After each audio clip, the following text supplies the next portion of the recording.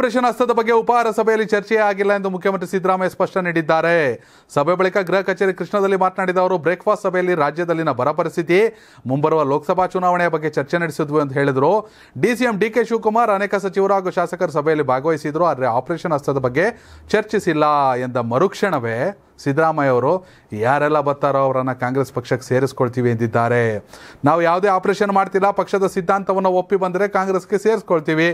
ಅದು B J ಪಿಯವರಾಗಲಿ J D ಎಸ್ನವರಾಗಲಿ ಅವರನ್ನು ಪಕ್ಷಕ್ಕೆ ಸೇರಿಸ್ಕೊಳ್ತೀವಿ ಅಂತ ಸಿದ್ದರಾಮಯ್ಯ ಹೇಳಿದ್ದಾರೆ.